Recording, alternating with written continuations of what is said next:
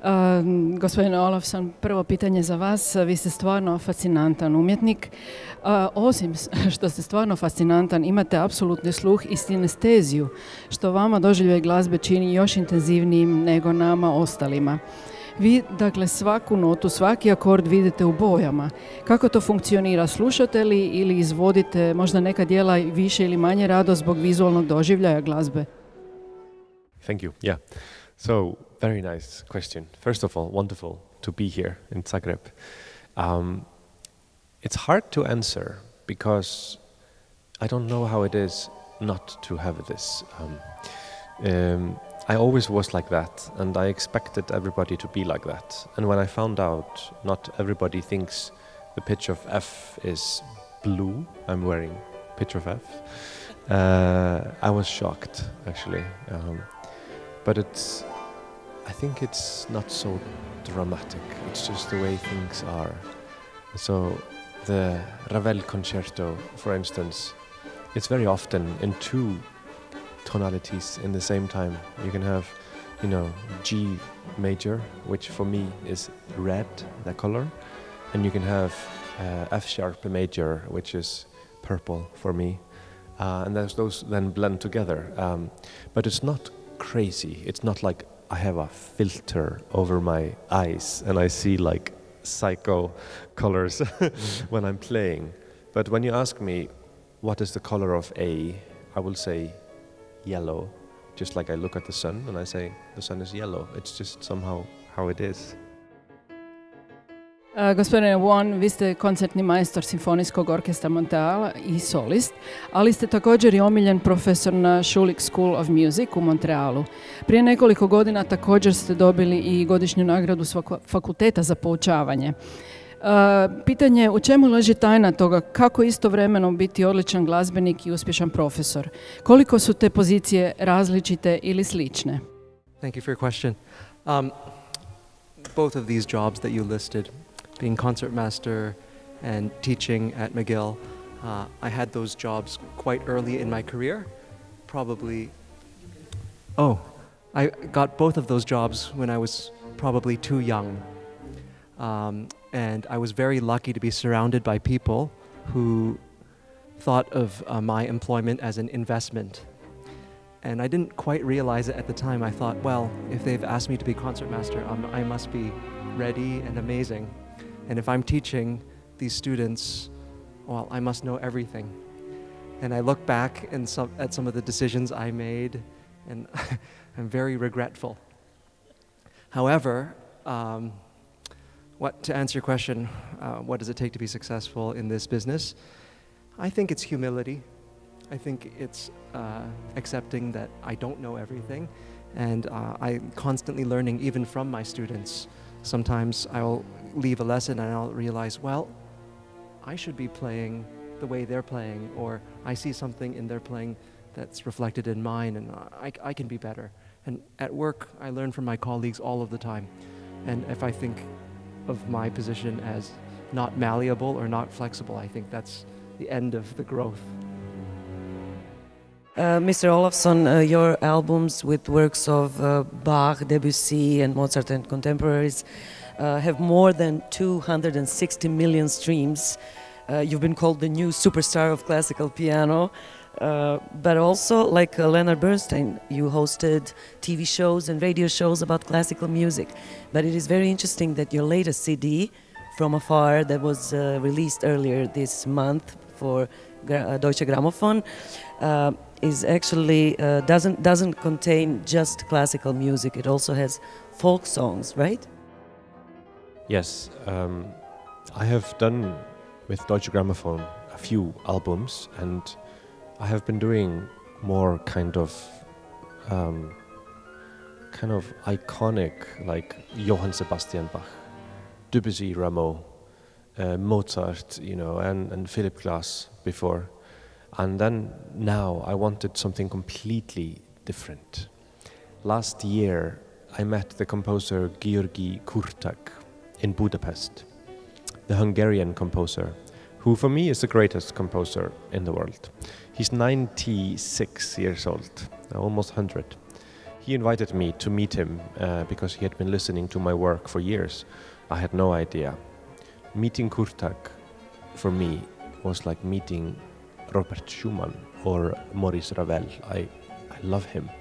Uh, and we had a beautiful time. And then when I came home to Iceland, where I'm from, uh, I wanted to write him a letter to thank him.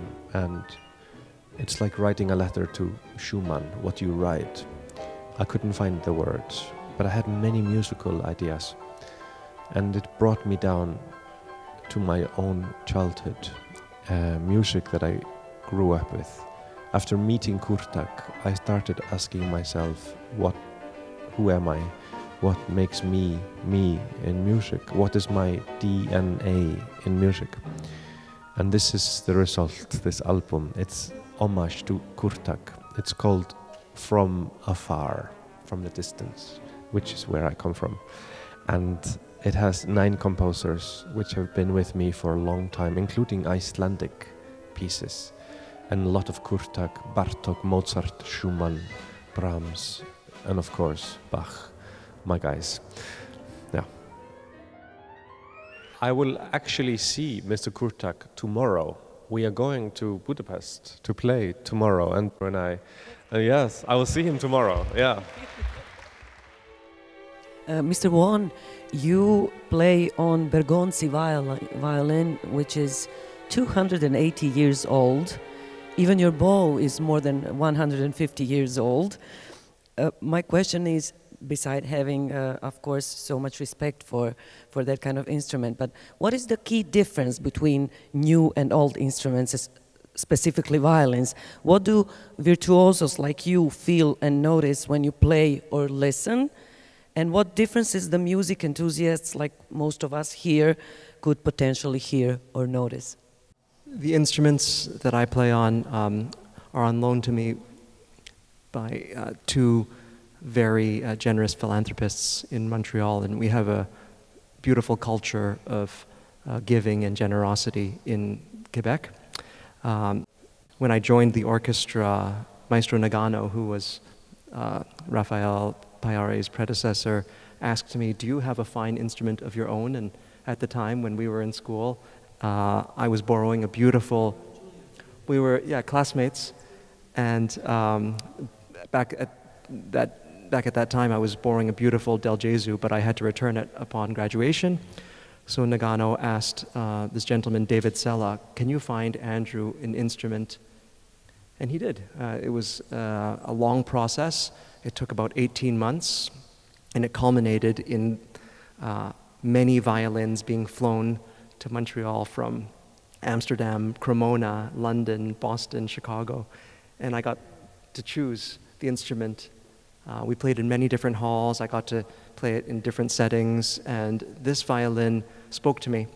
Uh, this violin used to belong to Daniel Guilet of the, the Beaux-Arts Trio. He's the founding violinist of the Beaux-Arts Trio. And at least under my ear, and when I listen to recordings of it, um, I feel like there's a texture and grain to the sound that I just don't find in new instruments. That is, it's always a little bit complex, a little bit uh, hard to decipher, but never a pure, uh, flat, static tone, and I enjoy that very much. The bow itself uh, has a very special story. I, will, I, I, feel sorry for uh, yeah, our I, friend here, but can I translate and then you? you no, I, I, can finish. I'm, I'm very happy to play on this French bow. Thank you. Mr. Olaf, Olafsson, of course, I have to ask you something about Iceland. It's the land with the highest number of writers in the world. One of 10 Iceland's inhabitants has published a book, and one in four people there work in a creative field. Um, Iceland is among top five places uh, on the World Happiness Report. I don't know if you knew that. It seems that cold and volcanic, uh, yet exotic and soothing scenery arouses art and happiness in people. You've been to a lot of places, met and collaborated with many people. Is there something special and mystic about Iceland that made you an incredible artist that you are today? Wow, you could sell Iceland as the. Uh, I would really like to go yeah, there. Yeah. I think it's amazing. Yeah, I, I only uh, know, know it by some documentaries and TV series like uh, Trapped. Ófærð, yeah.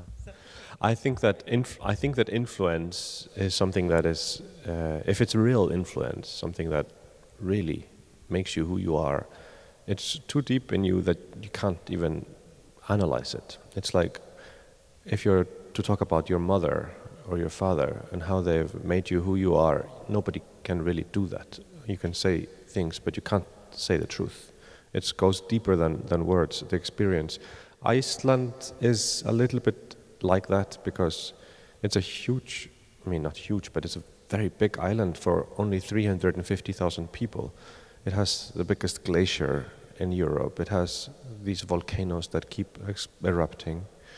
Uh, it has so much space for so few, you know, 350,000. It's like a little neighborhood in London, you know. Uh, but that's it. We, we have this island, and it's somewhere in between America and Europe, and we are neither completely, of course, not American, but we are not completely European either. We are this weird place. So, so I think that that the way that country influences you in one way, I can say, is that it has space, and it's quite easy to be feel and be alone with nature and with the the cosmos in that sense.